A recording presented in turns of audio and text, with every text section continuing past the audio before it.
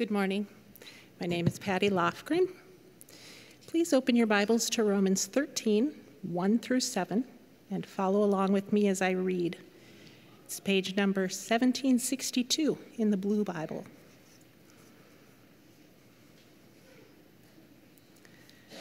Let everyone be subject to the governing authorities, for there is no authority except that which God has established.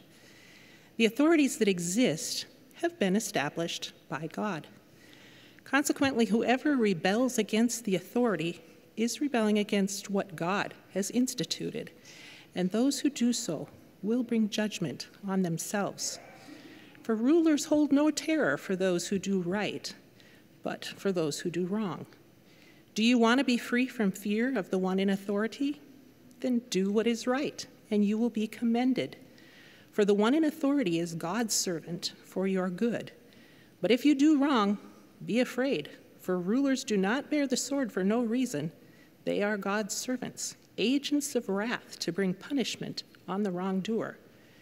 Therefore, it is necessary to submit to the authorities, not only because of possible punishment, but also as a matter of conscience.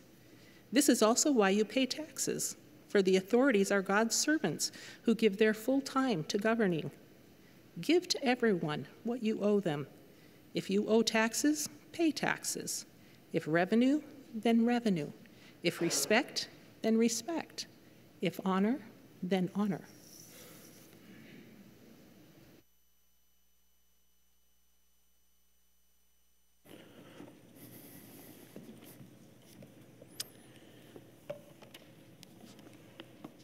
As our text, our text is a challenging one this morning, I would invite you to pray with me as we open up God's Word together. Heavenly Father, I think about what you say in your Word, where you tell us that these are the ones I look on with favor those who are humble and contrite in spirit and who tremble at my word. Father, may that be true of us today as we open up your scriptures. May we be humble and contrite in spirit, and may we tremble at your word. We ask this in Jesus' name. Amen.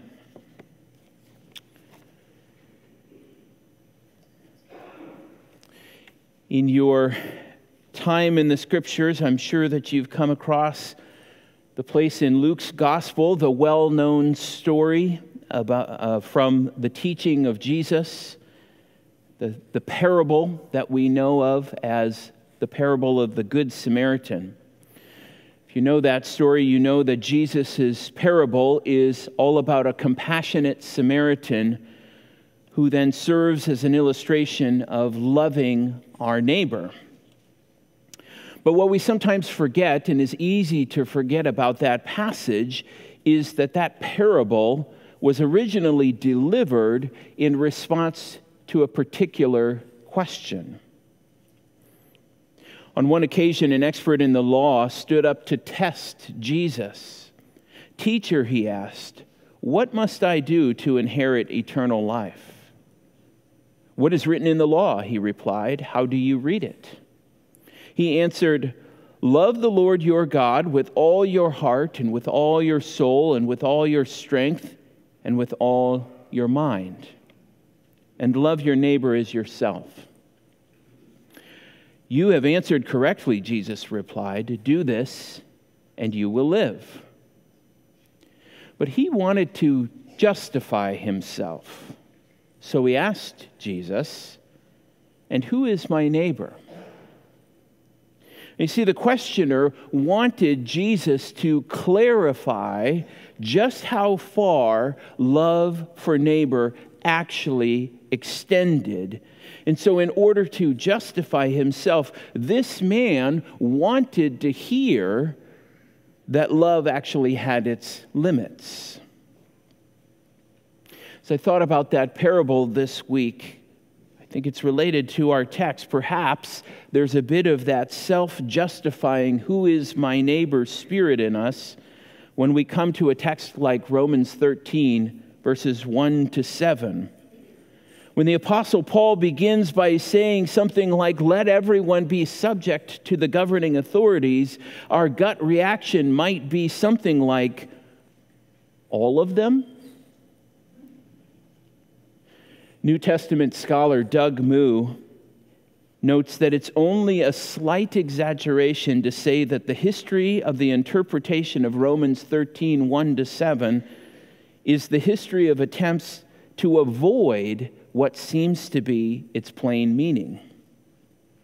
Similarly, in a recent book entitled The Ballot and the Bible, author Kaitlyn Schiess argues that we tend to invoke passages like Romans 13 selectively, depending on the issue or the politician.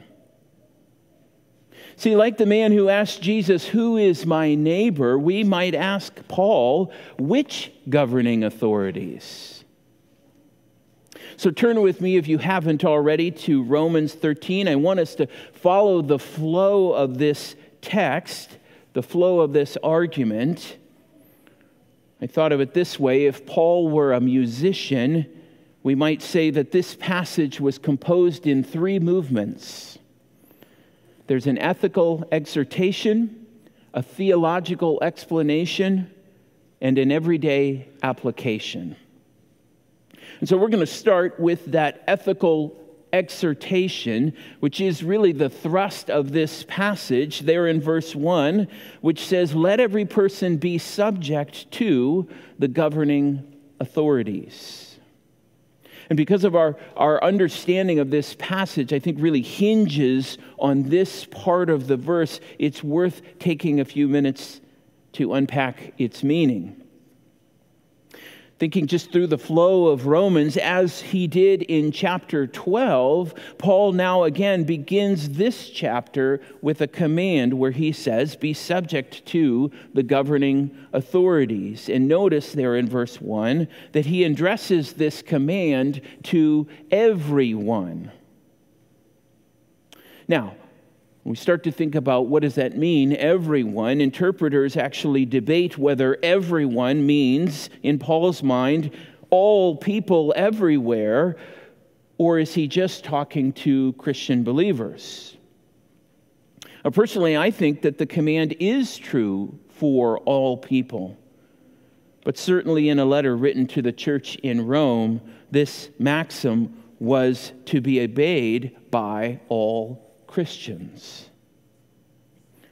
The key verb in this sentence that we have translated into English as be subject to, we know it, it, it shows up dozens and dozens of times throughout the New Testament. It's a call for Christians to submit, that is, uh, it's a call for us to acknowledge and to honor the divinely instituted positions of authority that God has ordained for us. We know throughout Scripture that God has instituted order and authority in places like the family, in the marriage relationship, in the workplace, in the church, and here in the case of Romans 13, even within the state. There's even a passage in Luke's gospel where the Lord Jesus himself, when he was a boy, was submissive to his parents, Joseph and Mary. Same word. So, what we see here is the main command in this passage is for everyone to be subject to the governing authorities. Governing authorities. Well, what does that mean? Who is Paul talking about? Verse 3, Paul then gives us another word to help further define who these authorities are. He calls them in verse 3 rulers. Now, Paul's original readers, as they hear this text read aloud, they would have understood that this was a reference to human rulers in positions, in positions of governing authority. I don't know how many of you have brothers and sisters that you grew up with. I'm the oldest of five siblings. There's three boys, two girls. The second oldest, then, in my family is my sister Gretchen. And I remember as a kid, as firstborns tend to do, uh, whenever I tried to pull rank and uh, as the older brother and order my younger sister to do something that I thought she needed to do, my sister Gretchen would always remind me, You're not the boss of me. She says that quite a lot uh, to me still today, right? So, another way to think about that, you're not the boss of me, is to say, well, who made you king? Who put you in charge? And that is a very fair question. And I think it's the question that Paul intended to answer in this passage. You see, this ethical exhortation to be subject to the governing authorities, it has to be rooted in some kind of theological truth, or else Paul's readers are going to have every right to ask, well, who made them king? They're not the boss of me. And so look closer at this explanation in verse 1 and then following, and notice that Paul does indeed ground this command by saying, notice verse 1, there is no authority except that which God has established. The authorities that exist have been established by God. Those statements are two ways of really saying the same thing. Uh, we can state it positively, we can state it negatively. No ruler holds a position of governing authority except that which God has established.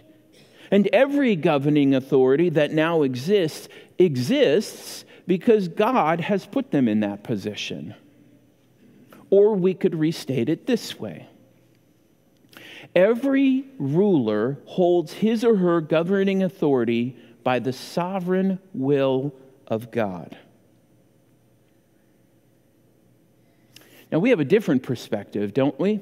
As human beings, our perspective, we, we see that people tend to assume authority and power in one of three general ways we're most used to that some rulers are elected to their positions. But of course, in our world, others, like William, Prince of Wales, he will inherit the throne either upon the death or abdication of his father.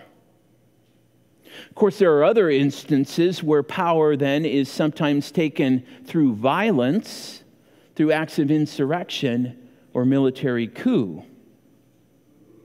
But you see, Scripture, however, tells us that over and above these human means, God's sovereign will guides the rise and fall of every earthly power. Again, every ruler holds his or her governing authority by the sovereign will of God. We see this in Scripture too, not just in, in history, but in the history of God's people. Genesis, we read about a man named Joseph. He was a great grandson of Abraham. Joseph was, uh, we see that God sovereignly guided him to one of the highest places of power in Egypt. And yet, when that story then continues into the book of Exodus, Scripture tells us about the rise of a new king to whom Joseph meant nothing, who came to power in Egypt. The Old Testament also tells about a man named Daniel who had a firsthand experience with the hand of God guiding the earthly authority of a king. And even though King Nebuchadnezzar was responsible for Daniel's deportation to Babylon, upon reflection, Daniel could say of God that he changes times and seasons. He deposes kings and raises up others. He gives wisdom to the wise and knowledge to the discerning. And so in Romans 13, verse 1, we have this uh, uh, ethical exhortation, and it's followed by that theological explanation. So, why should everyone be subject to governing authorities? Answer because every ruler holds his or her governing authority by the sovereign will of God. Now, Paul needs to expand on that explanation, and he does so there. You'll notice in verse 2 and following. He says there in verse 2 Consequently, whoever rebels against the authority is rebelling against what God has instituted. And those who do so will bring judgment on themselves. So, the conclusion that Paul reaches there in verse 2 is that opposition to governing authority is opposition to the authority of God. Or we could say an unwillingness to submit to divinely instituted rulers is an unwillingness to submit to God's own rule. Now, as we reflect on this principle, we see that the root of this rebellious spirit of course, goes all the way back to Adam and Eve, doesn't it? Their act of opposition to God's authority in the Garden of Eden. Remember when Eve took for herself and for her husband that which God said was off limits, they were effectively saying to God, Who are you to tell us what is good and what is evil? Who says we can't determine for ourselves what is good? Who made you king?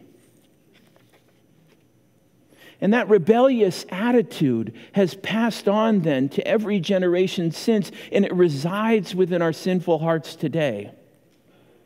I really appreciate the way that author and theologian D.A. Carson describes this nature of our sinful rebellion. He calls it the de-godding of God. That's always stuck with me, the de-godding of God. He says it this way if God makes image bearers and pronounces what is good and what is evil, if he orders the whole system, then to come along at any point and say, No, I will declare my own good. What you declare to be evil, I will declare to be good. What you say is good, I will declare to be evil. This is why the tree bearing this fruit is said to be the tree of the knowledge of good and evil. What is crucial is not the tree, but the rebellion. He says, What is so wretchedly tragic is that God's image bearer standing over against God. This is, is what he says, the de godding of God, so that I can be my own God. This, in short, he says, is idolatry. That's what Paul's getting at here in verse 2. Paul says in verse 2 consequently, whoever rebels against the authority is rebelling against what God has instituted. And those who do so will bring judgment on themselves. Again, opposition to governing authority is opposition to the authority of God. And so when we get to verses 3 and 4, Paul then uses a very interesting term to describe those whom God sovereignly places in these positions of authority. Look here at the text, verses 3 and 4, which says, For rulers hold no terror for those who do right, but for those who do wrong, uh, but for those who do wrong. Do you want to be free from fear of the one in authority? Then do what is right, and you will be commended. For the one in authority is God's servant for your good. But if you do wrong, be afraid, for rulers do not bear the sword for no reason. They are God's servants, agents of wrath to bring punishment on the wrongdoer. Did you catch the, how Paul describes these, these folks in, in authority? He calls them God's servants. God's servants. Now, maybe that's not all that strange to us. We're used to calling governing uh, officials uh, public servants. So to describe them as God's servants might not sound all that strange, but, but for those of you maybe reading from the King James this morning, you probably see a different word there. It doesn't say servants, it says ministers. See, servants can also be translated as, as ministers. The word servant that Paul uses there, that he chooses, is used elsewhere in the New Testament to describe those who do the work of Christian ministry. In fact, it's a word that's related to uh, the, the office of deacon in a local church context. Now, by no means is Paul suggesting that every ruler is doing the work of ministry in the same way that we would say pastors or elders or deacons or Sunday school teachers do ministry. And yet, the ministry or the service that God has assigned to these rulers, including secular governing authorities, is the service or ministry of maintaining good social order in the world. You see, their God given role is to commend or to approve what is good and to judge and punish wrongdoing.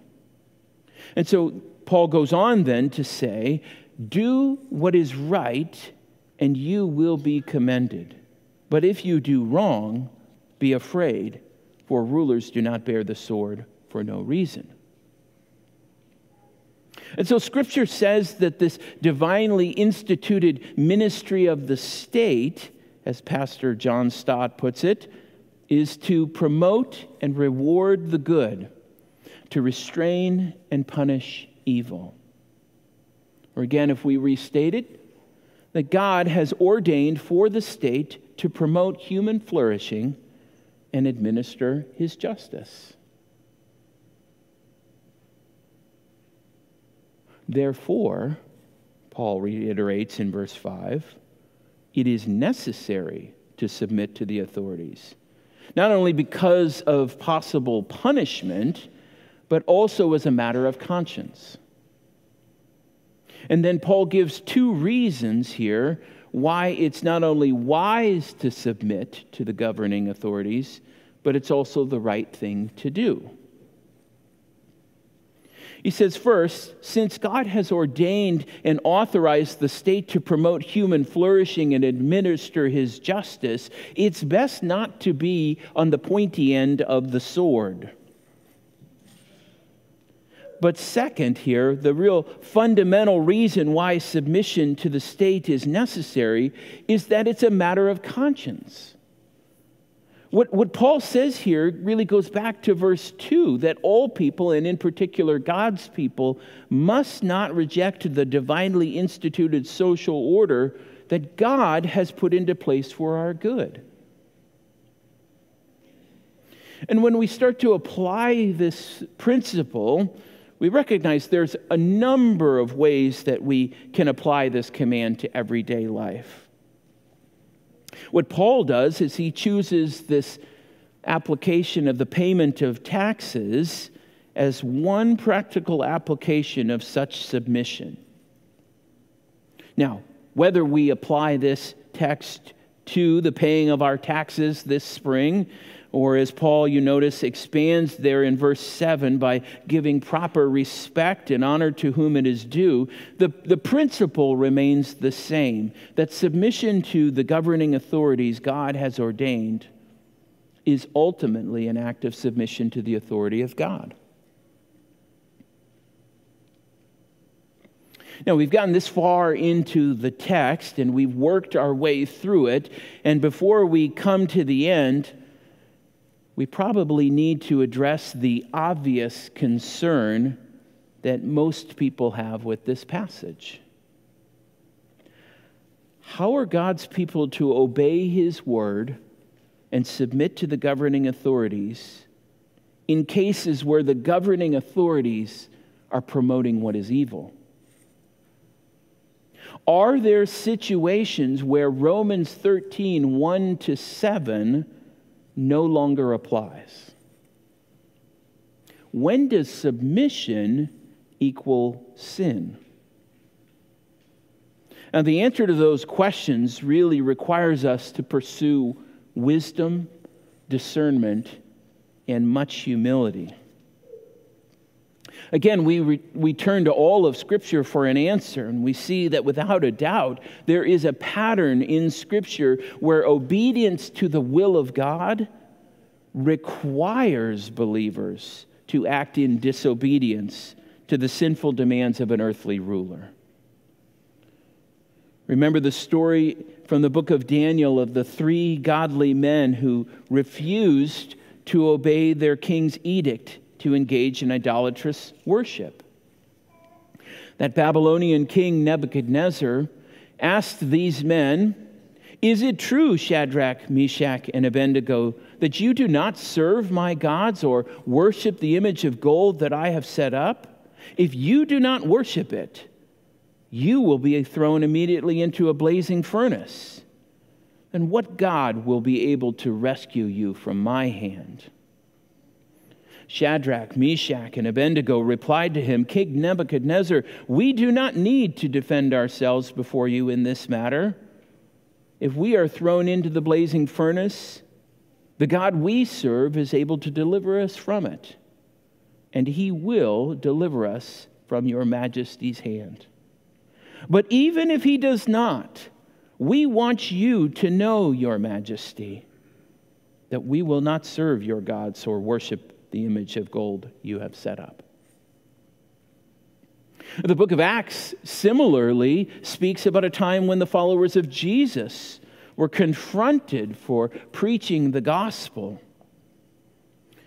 The apostles were brought in and made to appear before the Sanhedrin to be questioned by the high priest.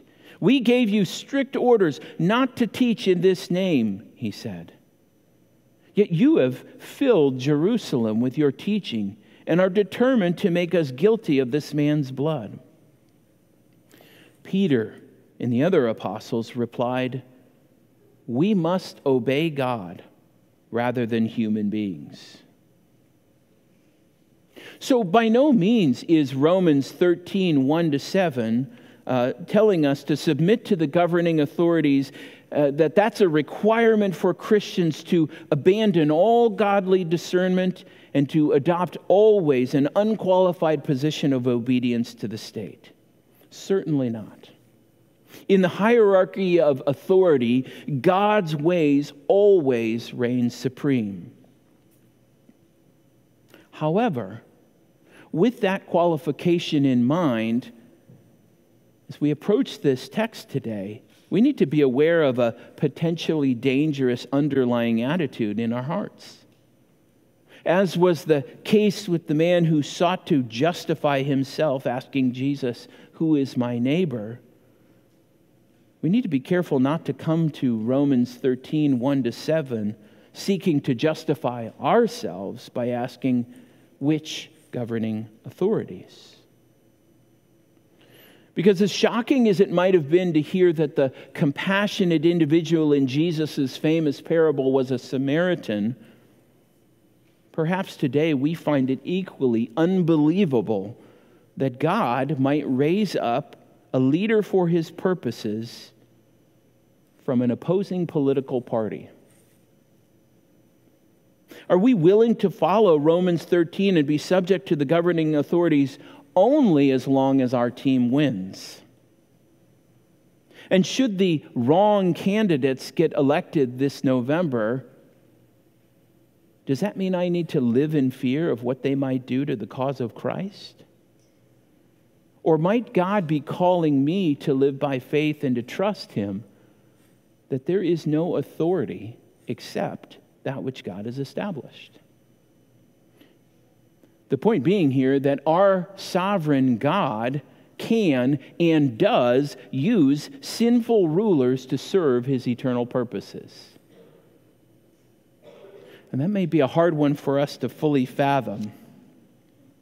But God can and does use sinful rulers to serve his eternal purposes. I'm going to close by looking at two prayers from Scripture. One comes to us from the Old Testament, one comes to us from the New. The prophet Habakkuk lived during a time of national moral corruption and the threat of international violence. And so things did not look good for God's people. And so this prophet turns to God in prayer, a prayer of lament. And he says, How long, Lord, must I call for help? But you do not listen or cry out to you, violence, but you do not save. Why do you make me look at injustice Why do you tolerate wrongdoing? Destruction and violence are before me. There is strife and conflict abounds. The, therefore, the law is paralyzed and justice never prevails. The wicked hem in the righteous, so that justice is perverted. And God answers him. And God says, Look at the nations and watch, and be utterly amazed. For I am going to do something in your days that you would not believe, even if you were told. I'm raising up the Babylonians, that ruthless and impetuous people who sweep across the whole earth to seize dwellings not their own. They are a feared and dreaded people. They are a law to themselves and promote their own honor going to do something in your days that you would not believe, God says. Of course, many years later, not long after the first Pentecost, the newly formed church was also under pressure from the local authorities. The same rulers who were responsible for the crucifixion of Jesus now was turning their attention to silencing Jesus' disciples. And so in Acts chapter 4, we read about how the church responded to those threats. They prayed, Sovereign Lord, they said. You made the heavens and the earth and the sea and everything in them. You spoke by the Holy Spirit through the mouth of your servant, our father David. Why do the nations rage and the peoples plot in vain? The kings of the earth rise up and the rulers band together against the Lord and against his anointed one. Indeed, Herod and Pontius Pilate met together with the Gentiles and the people of Israel in this city to conspire against your holy servant Jesus, whom you anointed. They did what your power and will had decided beforehand should happen. Now, Lord, consider their threats and enable your servants to speak your word with great boldness. Stretch out your hand to heal and perform signs and wonders through the name of your holy servant, Jesus. Folks, in light of all that we're seeing in Scripture here, no matter who holds a position of power, we can rest in the fact that our sovereign God can and does use sinful rulers to serve his eternal purposes. Our God is sovereign. Would you pray with me?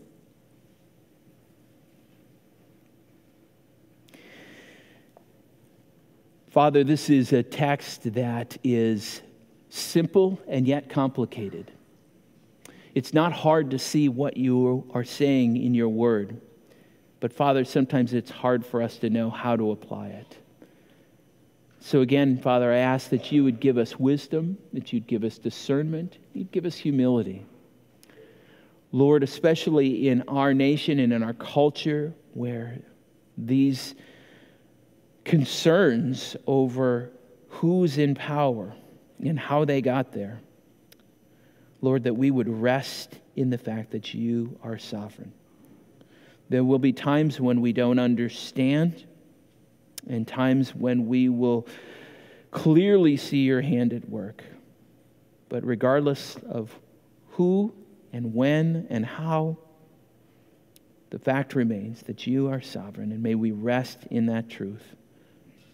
God, we ask these things in Jesus' name. Amen. Amen.